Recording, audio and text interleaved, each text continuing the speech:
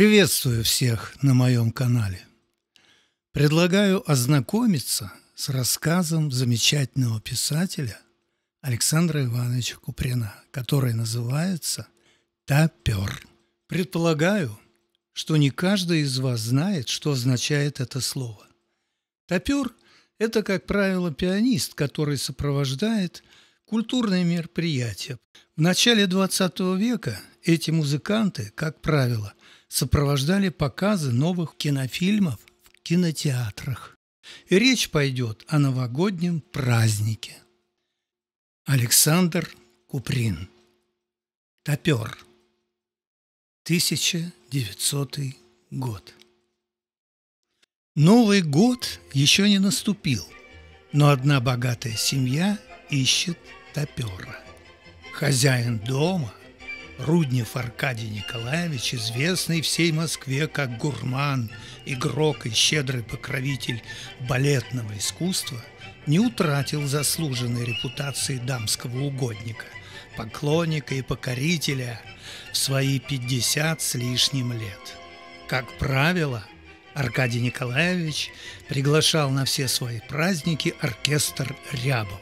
Но в этот раз с музыкой произошел целый ряд роковых недоразумений. Оркестр прийти не смог, и на поиски музыкантов отправили некую Дуняшу. А тем временем начали собираться гости, и их становилось все больше и больше, а Дуняша все не появлялась. Хозяева не на шутку забеспокоились. Больше всего беспокоились дочери хозяина. Маленькая Тина, Татьяна и Лидия Аркадьевна, старшая дочь. «Ах, Танечка, голубушка, как же теперь нам быть? Ведь это же ни на что не похоже!» Таня сама начала тревожиться. Она подошла к старшей сестре и сказала в полголоса. «Я уж и не придумаю, что делать. Придется попросить тетю Соню поиграть немного а потом я ее сама как-нибудь заменю. «Благодарю покорно», – насмешливо возразила Лидия. «Тетя Соня будет потом нас целый год своим одолжением донимать. А ты так хорошо играешь, что уж лучше совсем без музыки танцевать». В эту минуту к Татьяне Аркадьевне подошел неслышно, ступая своими замшевыми подошвами, Лука. «Барышня, Дуняша просит вас на секунду выйти к ним. «Ну что, привезла?» – спросили в один голос все три сестры. «Пожалуйтесь, извольтесь посмотреть сами», – уклончиво ответил Лука. «Они в передней. Только что-то сомнительно-с. Пожалуйтесь». В передней стояла Дуняша, еще не снявшая шубки, закиданной комьями грязного снега. Сзади ее копошилась в темном углу какая-то маленькая фигурка, разматывавшая желтый башлык, окутавший ее голову. «Только, барышня, не броните меня, пожалуйста», – зашептала Дуняша, наклоняясь к самому уху Татьяны Аркадьевны. «Разрази меня Бог, пяти местах была и ни одного топера не застала. Вот нашла этого мальца, да уж и сама не знаю, годится ли. Убей меня, Бог, только один и остался. Божится, что играл на вечерах и на свадьбах, а я почем могу знать? Между тем маленькая фигурка, освободившись от своего башлыка и пальто, оказалась бледным, очень худощавым мальчиком в подержанном мундирчике реального училища. Понимая, что речь идет о нем, он в неловкой выжидательной позе держался в своем углу, не решаясь подойти ближе. Наблюдательная Таня, бросив на него украдкой несколько взглядов, сразу определила про себя, что этот мальчик застенчив, беден и самолюбив. Лицо у него было некрасивое, но выразительное и с очень тонкими чертами, Несколько наивный вид ему придавали вихры темных волос. Большие серые глаза, слишком большие для такого худенького детского лица, смотрели умно, твердо и не по-детски серьезно. По первому впечатлению мальчику можно было дать лет одиннадцать-двенадцать. Вы говорите, что вам уже приходилось играть на вечерах? Да, я играл, ответил он голосом, несколько сиплым от мороза и от робости. Вам, может быть, от того кажется, что я такой маленький. Ах, нет, вовсе не это. Вам ведь и лет э, тринадцать должно быть. Четырнадцать. Это, конечно, все равно, но я боюсь, что без привычки вам будет тяжело. Мальчик откашлялся. «О, нет, не беспокойтесь, я уже привык к этому. Мне случалось играть по целым вечерам, почти не переставая». Таня вопросительно посмотрела на старшую сестру. Лидия Аркадьевна, отличавшаяся странным бессердечием по отношению ко всему загнанному, подвластному и приниженному, спросила со своей обычной презрительной миной. «Вы умеете, молодой человек, играть кадриль?» Мальчик качнулся туловищем вперед, что должно было означать поклон. «Умеюс!» «И вальс умеете?» «Дас!» «Может быть, и польку тоже?» Мальчик вдруг густо покраснел, но ответил сдержанным тоном. «Да, и польку тоже». «Алансье!» — продолжала дразнить его Лидия. Большие глаза мальчика вдруг блеснули гневом и насмешкой. Даже напряженная неловкость его позы внезапно исчезла. «Если вам угодно, мадемуазель», — резко повернулся он к Лидии, «то кроме полик и кадрили я играю еще все сонаты Бетховена, вальсы Шопена и рапсодии Листа. Пожалуйста, прошу вас, позвольте мне что-нибудь сыграть». Лидия Аркадьевна пренебрежительно выдвинула вперед нижнюю губу и ничего не ответила. Мальчик бережно положил руки на клавиши, закрыл на мгновение глаза, и из-под его пальцев полились торжественные, величавые аккорды начала рапсодии Листа. Странно было видеть и слышать, как этот маленький человек, голова которого едва виднелась из-за пюпитра, извлекал из инструмента такие мощные, смелые, полные звуки, и лицо его как будто бы сразу преобразилось, просветлело и стало почти прекрасным.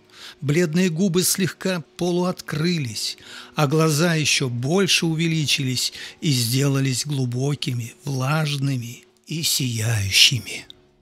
Хозяин, Аркадий Николаевич, любивший музыку и знавший в ней толк, вышел из своего кабинета. Подойдя к Татьяне, он спросил, «Где вы достали этого карапуза?» «Это топер, папа», — ответила тихо Татьяна Аркадьевна. «Правда отлично играет?» «Топер? Такой маленький, неужели?» — удивлялся Руднев. «Скажите, пожалуйста, какой мастер? Но ведь это безбожно заставлять его играть танцы». Когда Таня рассказала отцу о сцене, произошедшей в передней, Аркадий Николаевич покачал головой. «Да, вот оно что. Ну что ж делать? Нельзя обижать мальчугана.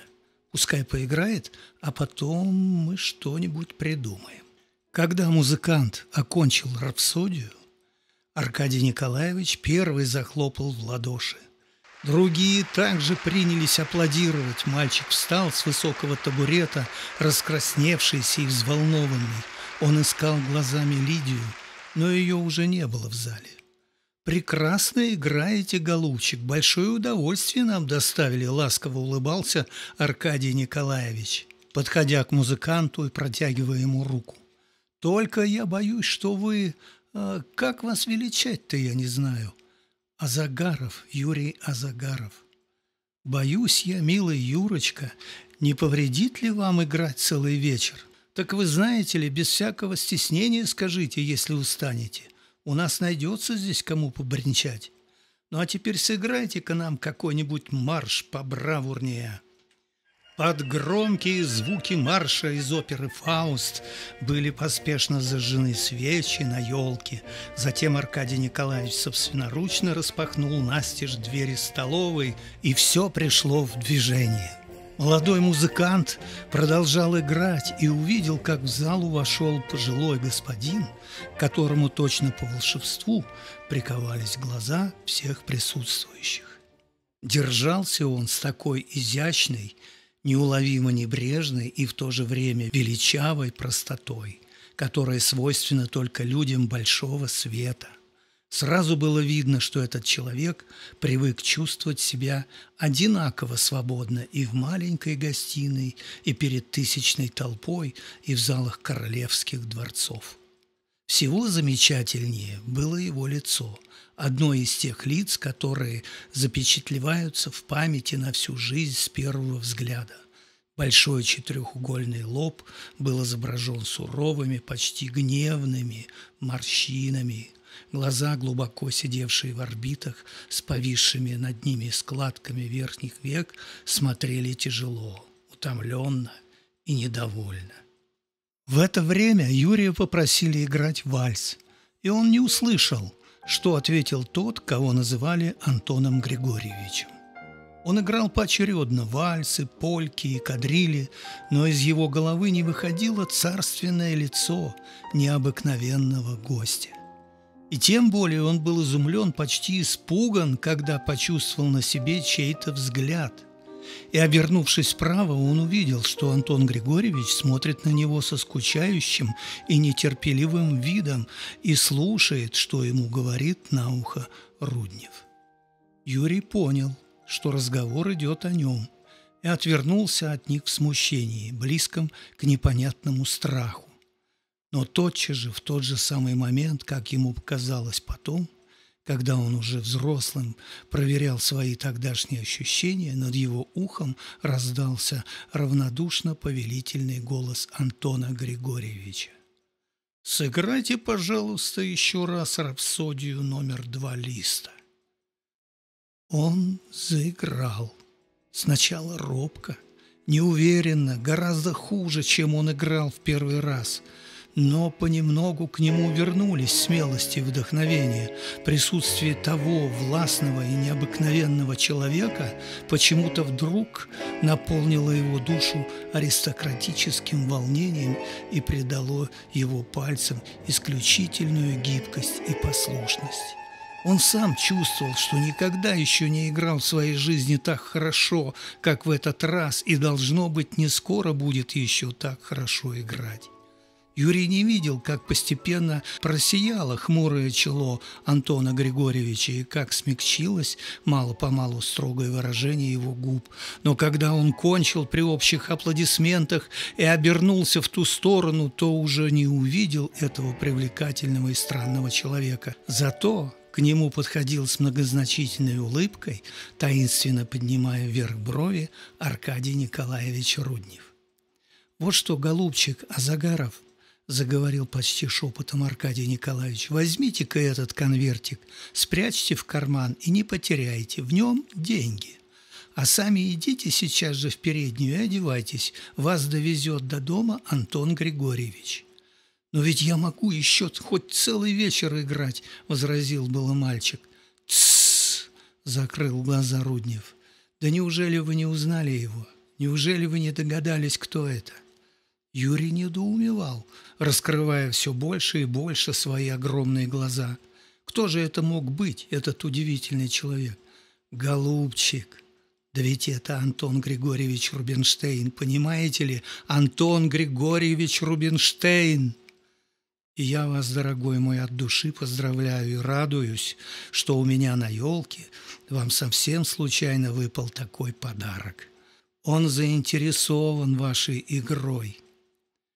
Музыкант в поношенном мундире давно уже известен теперь всей России как один из талантливейших композиторов, а необычайный гость с царственным лицом еще раньше успокоился навсегда от своей бурной, мятежной жизни, жизни мученика и триумфатора. Но никогда и никому Азагаров не передавал тех священных слов, которые ему говорил – едучи с ним в санях в эту морозную рождественскую ночь, его великий учитель. 1900 год.